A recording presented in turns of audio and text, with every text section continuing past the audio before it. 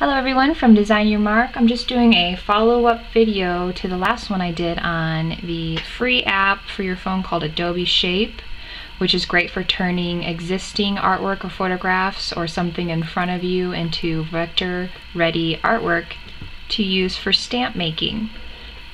So if you got a chance to see that video, um, this one I wanted to do just to show you that Adobe Shape is now going to be called Adobe Capture.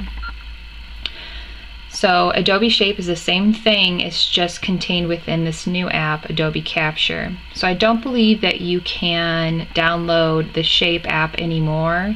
Now you'll have to use Adobe Capture. So I just wanted to show you what that looked like so you were familiar with it. So once you have that saved on your phone, you can use an Android, iPhone, or iPad and it is free. Just go ahead and click on it.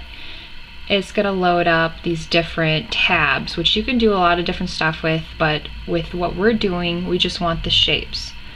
So if I click on the Shapes tab, it immediately loads up my library of designs that I've already done. So if you watched the Shape, Adobe Shape video, this should look familiar to you. And um, so, you know, a lot of them that I've gone through. You can click on one of those and it'll bring it up. So as you can see, you can take a photograph, something in front of you or something already saved on your phone and turn it into black and white vector ready artwork for creating stamps on our website, designyourmark.com. So I just wanted to show you this Adobe Capture app that is now um, the only thing that you can download if you have not already downloaded the Adobe Shape if you have downloaded Adobe Shape, you can continue using that one, no problem. As you can see, it's asking me to go through Capture, but I don't have to. So now my Adobe Shape is going to load up. And that one you all should already be familiar with.